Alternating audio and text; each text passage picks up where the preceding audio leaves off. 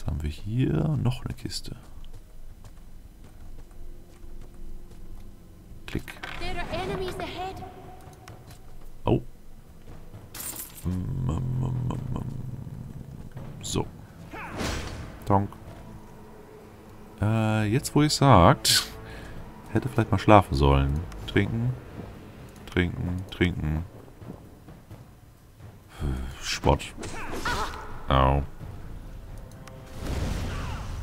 Feuerball. Gift. Ritzel. Na, den kriegen die ja auch ab. Sehr gut. Down. Wow. Wow. Okay, ganz ruhig. Du. Heilung. Du das.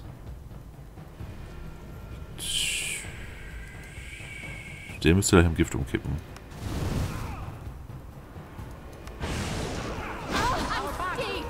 Kaputt. Sehr gut. Zaubertrank. Gift. Britzel. Schutz. Und weg mit dir. Sehr gut. Schlafen. Du. Geheimnisse suchen. Das habe ich, glaube ich, auch schon eine Zeit lang nicht wieder gezaubert. Ich glaube, ich gehe nochmal durch den Erdbereich durch. Secrets und so.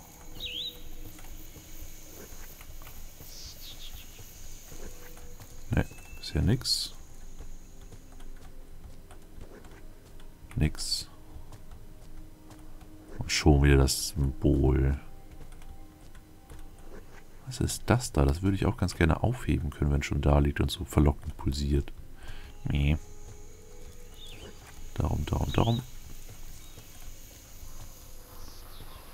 Also ich glaube, das würde ich machen, wenn ich ein Spiel programmieren würde.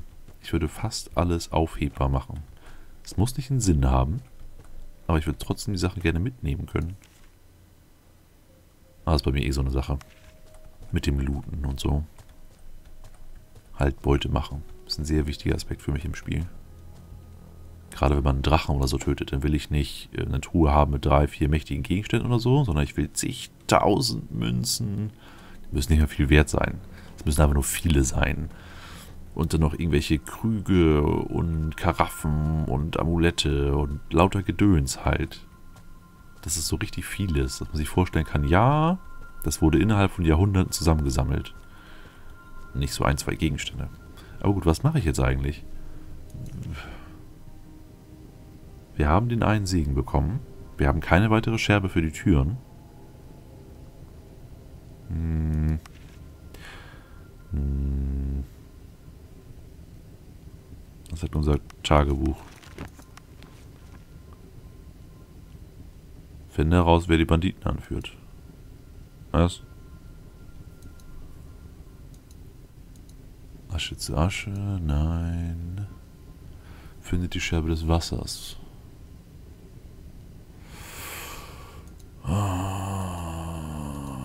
Geheimnis der Obelisken, nein. Erstattet John Morgan Bericht. Ah, okay.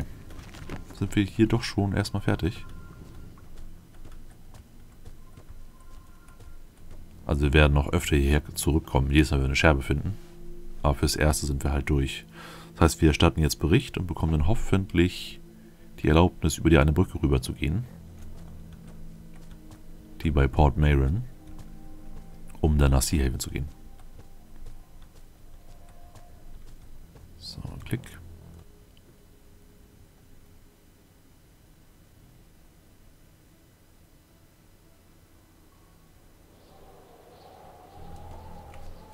Äh, greif nach Hause. Jupp. Hier nickt tapfer. Was sind auch so eine Power-Emotes hier zwischendrin? Wir müssen, um Ja zu drücken, quasi bestätigen, dass wir ein mulmiges Gefühl haben, wenn wir auf den Greifen reiten. Und dass uns speiübel wird. Ja, okay. Ich halte mich zurück, ist alles gut.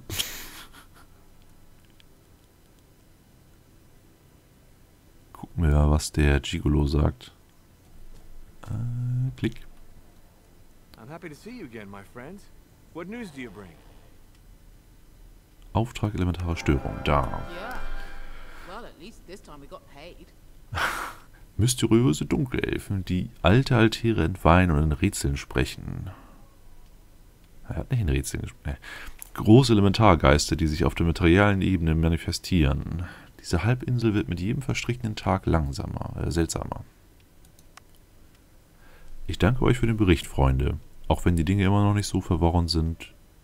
Auch wenn die Dinge immer noch so verworren sind wie zuvor. Wenn nicht sogar noch verworrener. Nichtsdestoweniger habt ihr für eure Bemühungen eine Belohnung verdient. Okay.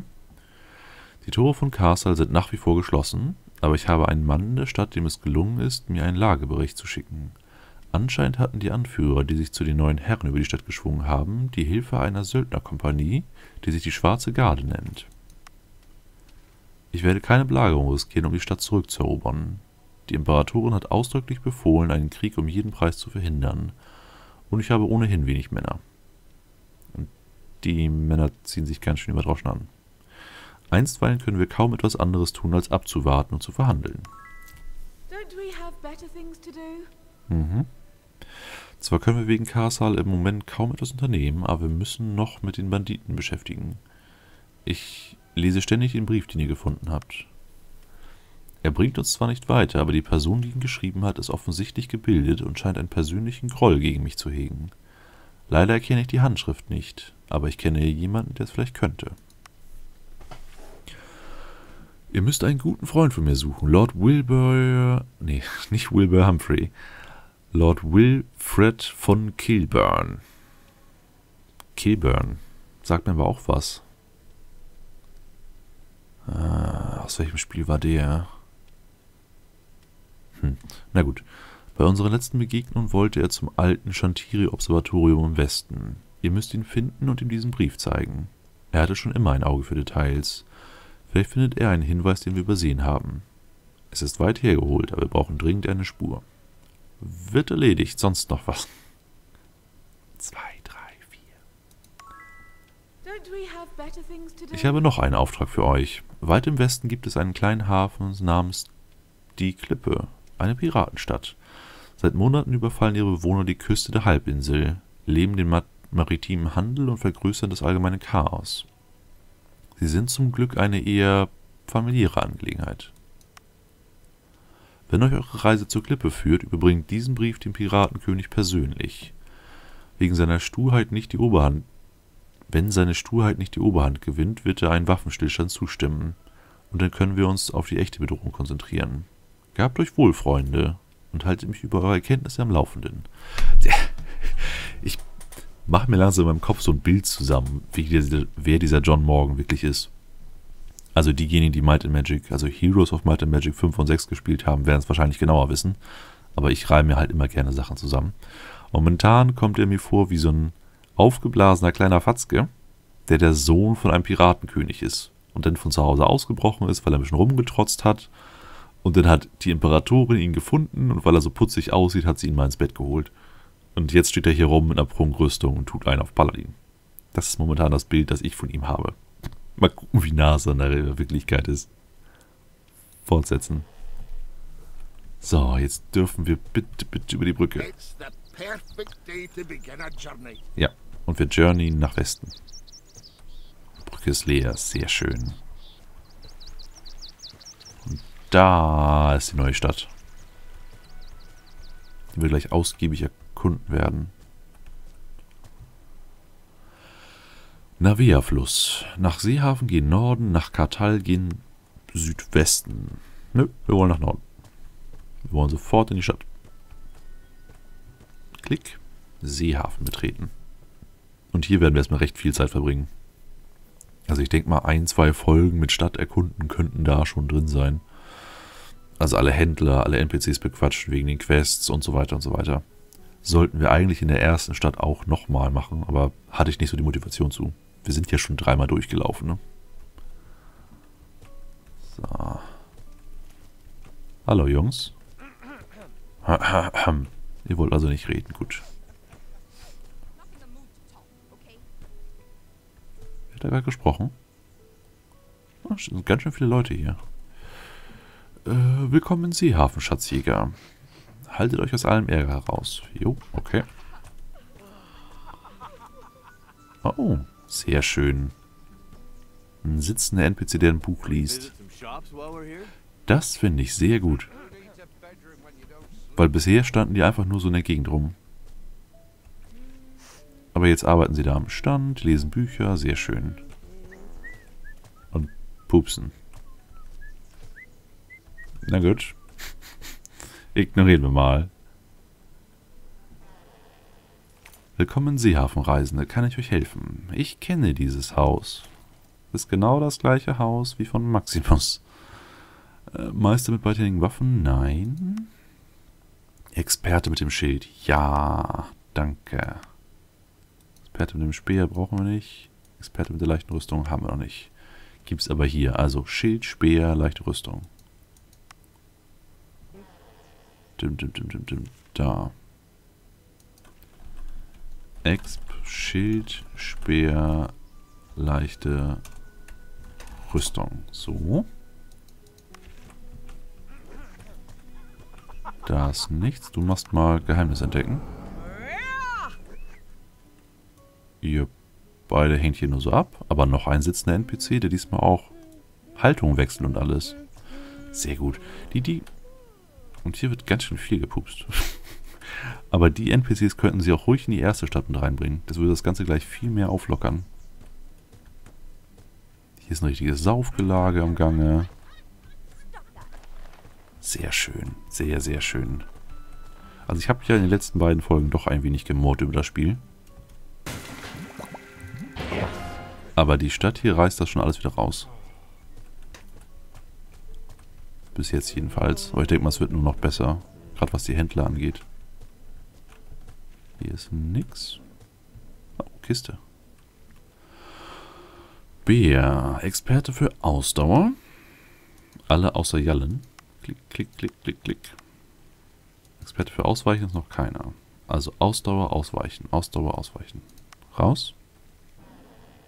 Klick, klick. Äh, Exp. Ausdauer, Ausweichen. Falsche Richtung. Das ist ganz schön wenig Gold und wir sind proppevoll. Ähm, vielleicht sollten wir doch nicht in den Seitengassen rumtouren, sondern direkt zu den Händlern gehen, ha? Du, das da. Ich glaube, wir sind bei den Elfen. Also es gibt hier mehrere Stadtteile. Das könnten die Elfen sein mit den ganzen Bäumen hier. Silberklingen. Ja, definitiv Elfen. Und er hat auch so eine Leuchterüstung. Äh, wir würden gerne handeln erstmal. Danach können wir reden. Weg, weg, weg, weg, weg, weg, weg, weg, weg, weg, weg, weg, weg, weg, weg, weg. Brennende Entschlossenheit. Können wir zaubern, aber Tirik ist vielleicht nicht immer wach. Braucht unbedingt mehr Platz. Seismischer Drachenzahn vom Sylannas Orden? Äh, Einhandwaffe? Plus 20 Schaden Erde. 50% Crit-Schaden. Bei einem erfolgreichen Angriff werden alle Feinde in der Gruppe des Ziels 13 Schaden erleiden. Ja. Das ist... Ja. 11.600 Gold. Ja, okay. Wir machen alle locker doppelt und dreifach so viel... Ja, dreifach locker. So viel Schaden wie unsere Waffen. Also nicht, dass Gerogon irgendwann mal irgendwas treffen würde im Nahkampf, aber... Hammer, okay. Es macht also echt einen ganz schönen Sprung hier, das Spiel. Das heißt, alles, was wir bisher gefunden haben, ist sinnlos. Könnten wir wegschmeißen und hier einfach neue Sachen kaufen. Auftrag. Seit langer Zeit bin ich auf der Suche nach Sternsilbererz. Dieses heilige Metall ist selten, da es sich nur in herabfallenden Sternschnuppen befindet. Edwin, der Astronom, hat mir erzählt, dass vor einigen Tagen ein Meteorit in die trostlose Wildnis gestürzt ist. Bringt mir das Sternsilber, dann kann ich euch eine Klinge schmieden, die Aschans größten Helden würdig ist. Ah, was willst du dafür? Ich sehe momentan nur einen Vorteil für uns. Aber okay, bist du eine Elfe. Das, du bist komisch, das passt. Ähm, also ein Zwer- Zwerg hätte jetzt zigtausend Goldmünzen gewollt. Aber bei Elfen könnte ich schon fast nachvollziehen, dass sie es umsonst machen wollen.